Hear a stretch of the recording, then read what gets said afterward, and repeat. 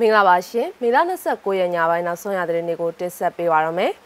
အနာသိန်းစစ်ကောင်စီကသူ့ရဲ့လက်အောက်ခံတပ်သားတွေရဲ့မိခိုသူသားသမီးတွေကိုအတင်းအကျပ်ဖိအားပေးကြောင်းတက်ခိုင်းနေတယ်လို့သိရပါတယ်မကွေးတိုင်းဒေသကြီးလုံသမားလူဝင်မှုကြီးကြပ်ရေးနဲ့ပြည်သူ့အင်အားဝင်ကြီးဦးမြင့်အောင်ကိုစစ်ကောင်စီတပ်သားတွေကနေမှာလာရောက်ဖမ်းဆီးသွားခဲ့ပါတယ်ချင်းမီနယ်မင်းတပ်မြို့နယ်အတွင်းရှိစစ်ပေးဆောင်ပြည်သူတွေအတွက်လူသားချင်းစာနာမှုအကူအညီတွေကိုအမျိုးသားညွရေးဆိုရ NUG ကပံ့ပိုးပေးခဲ့ပါတယ်။ အဲ့ဒီသတင်းတွေပါဝင်နောက်ဆုံးရသတင်းတွေကိုဆက်လက်တင်ဆက်ပေးပါမယ်။ထမောင်းဆုံးသတင်းတစ်ပုဒ်အနေနဲ့အာနာသိန်းစစ်ကောင်စီကသူ့ရဲ့လက်အောက်ခံတပ်သားတွေရဲ့မိခိုသူသားသမီးတွေကိုအတင်းအကျပ်ဖိအားပေးကြောင်းတက်ခိုင်းနေရလို့သိရပါတယ်။ကျောင်းအနှံပြီးစီးမှုစီရင်ပေးပို့ရေးဆိုတဲ့စာတစောင်နဲ့အတူ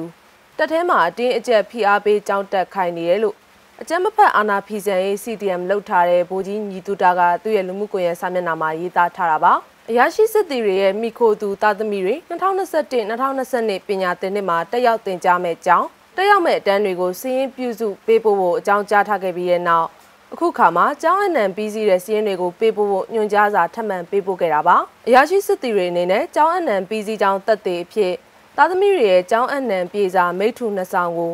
ဇွန်လ၁ရက်နောက်ဆုံးထားပြီးအရောက်ပေးပို့ရမယ်လို့လည်းအဲ့ဒီညွှန်ကြားစာမှာပါရှိပါတယ်။ကျောင်းအနှံရေးသတင်းပတ်ဖြစ်တဲ့မေလ24ရက်ကနေမေလ31ရက်နေ့အတွင်းနေ့စဉ်ကျောင်းအနှံပြီးစီးမှုအခြေအနေကိုကျောင်းဌာနရုံးချုပ်ကိုတင်ပြပေးပို့ရတယ်လို့လည်းအာနာသိန်းစစ်ကောင်စီကလက်အောက်ခံတပ်သားတွေစီပေးပို့ခဲ့တဲ့ညွှန်ကြားစာအရသိရပါတယ်။စစ်အာဏာသိမ်းမှုကိုစန့်ကျင်တဲ့ CTM လှုပ်ရှားမှုမှာပါဝင်လာခဲ့သူဗိုလ်ကြီးညီသူတာကတော့ တက်ထဲမှာအတင်းအကျပ်ဖိအားပေးကြောင်းတက်ခိုင်းနေတာကိုဘွားကိုမပိုင်တဲ့ဘွားတွေကနေလွတ်ကျွတ်ဖို့ပြည်သူနဲ့အတူတူတိုက်ပွဲဝင်ကြပါလို့သူ့ရဲ့လူမှုကွန်ရက်စာမျက်နှာမှာရေးသားတိုက်တွန်းခဲ့ပါတယ်။စစ်အာဏာသိမ်းပြီးနောက်အုပ်ချုပ်ရေးမှုရုံးတွေစာတင်ကျောင်းတွေအပါအဝင်နေရာအများအပြားမှာပောက်ကွဲမှုတွေနေစဉ်ဆိုသလိုဖြစ်ပွားနေပြီးကျောင်းသားမိဘတွေဘက်ကကလေးတွေရဲ့လုံခြုံရေးအရာရောစစ်အာဏာရှင်ကိုလက်မခံတာအကြောင်းမှာအများစုကကြောင်းမအပ်ကြပါဘူး။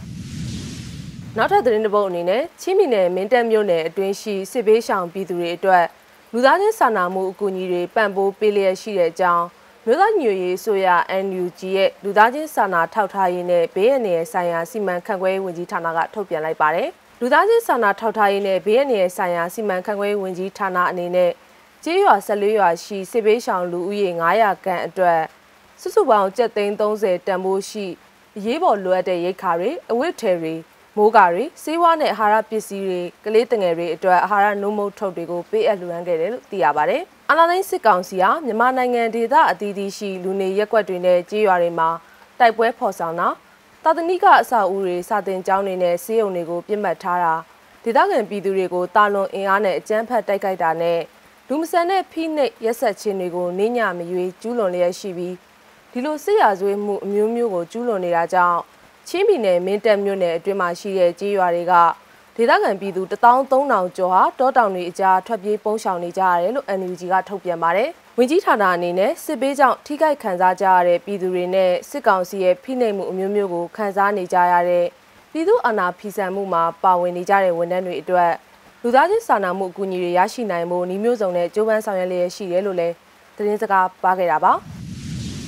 အာနာသိန်းစစ်ကောင်စီကမကွေးတိုင်းဒေသကြီးအလုသမားလူဝင်မှုကြီးကြပ်ရေးနဲ့ပြည်သူအင်အားဝင်ကြီးဦးမြင့်အောင်ကိုနေအိမ်မှာလာရောက်ဖမ်းဆီးသွားခဲ့တယ်လို့သိရပါဗျ။မကွေးတိုင်းဒေသကြီးတရက်မြို့နယ်6ပင်အုပ်စုဇွေးမိရွာမှာနေအိမ်မှာမေလ28ရက်ညနေ6နာရီဝန်းကျင်မှာမြို့သားဒီမိုကရေစီဖွဲ့ချုပ်ပါတီကဦးမြင့်အောင်ကိုဖမ်းဆီးသွားခဲ့ပြီးတော့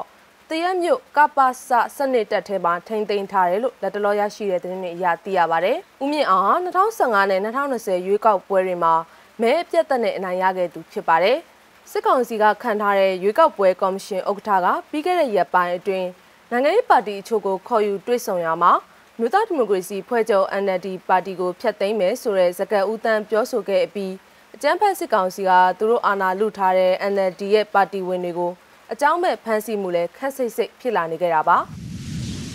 နောက်ထပ်သတင်းတစ်ပုဒ်အနေနဲ့မကွေးတိုင်းဒေသကြီးရေစကြိုမြို့နယ် နေရင်ကြီးရွာက CDM ပြုလုပ်ထားတဲ့အုပ်ချုပ်ရေးမှူးကိုရဲမင်းစော်ကိုအကြမ်းဖက်စစ်ကောင်စီကဒီနေ့မေလ29ရက်နေ့လယ်ပိုင်းမှာလာရောက်ဖမ်းဆီးခဲ့တယ်လို့သိရပါဗျ။စစ်ကား၃စီးနဲ့အတူစစ်ကောင်စီခန့်အုပ်ချုပ်ရေးမှူးပြည်ခိုင်ဖြိုးပါတီဝင်ဦးစောထင်းနိုင်ကသတင်းပေးပြီးဖမ်းဆီးစေခဲ့တာလို့ဒေသခံကဆိုပါတယ်။ကိုရဲမင်းစော်ကိုရွာတွေကလူတွေကလည်းလေးစားကြတယ်။အဲဒီတော့အကြမ်းဖက်စစ်ကောင်စီခန့်တဲ့အုပ်ချုပ်ရေးမှူးကြန့်ခိုင်ရေးပါတီကလူက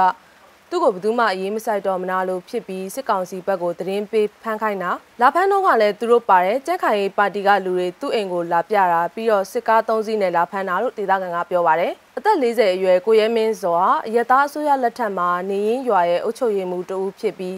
အာနာသိမ့်ပြီးနောက်ပိုင်းမှာအကြမ်းမဖက်အာနာဖီဆိုင်ရေးလှုပ်ရှားမှု CDM ပြုလုပ်ခဲ့တာဖြစ်ပါတယ်သူအုပ်ချုပ်ရေးမှူးလုပ်သက်ဟာ9နှစ်ရှိပြီး ကြေးရွာမှာဥဆောင်မှုကောင်းတဲ့အတွက်ကြေးရွာသားတွေကလေးစားကြတဲ့သူတဦးဖြစ်တယ်လို့ဒေသခံကပြောပြပါဗျ။ကိုရဲမင်းစောဟာအမျိုးသမီးနဲ့သမီးနှစ်ယောက်ရှိတဲ့အိမ်အောင်တဲ့တဦးဖြစ်တယ်လို့လည်းသိရပါဗျ။လက်ရှိချိန်မှာဘယ်ကိုဖမ်းဆီးခေါ်ဆောင်သွားတယ်လဲဆိုတာမသိရသေးတဲ့အတွက်မိသားစုတွေအနေနဲ့စိတ်ပူနေရလို့လည်းသိရပါဗျ။အခုလိုမျိုးဖမ်းဆီးခံခဲ့ရတာဟာရေစကြိုမြို့နယ်အတွင်းအုပ်ချုပ်ရေးမှုအဖမ်းခံရမှုပထမဆုံးအကြိမ်ဖြစ်တယ်လို့လည်းသိရပါဗျ။မြစည်းမ TV ရဲ့နောက်ဆုံးရသတင်းတွေကိုတင်ဆက်ပေးကြတာပါ။ စောင့်မျှော်ကြည့်ရှုခဲ့ကြတဲ့ပရိသတ်တွေအားလုံးကိုကျေးဇူးအထူးပဲတင်ရှိပါရရှင်။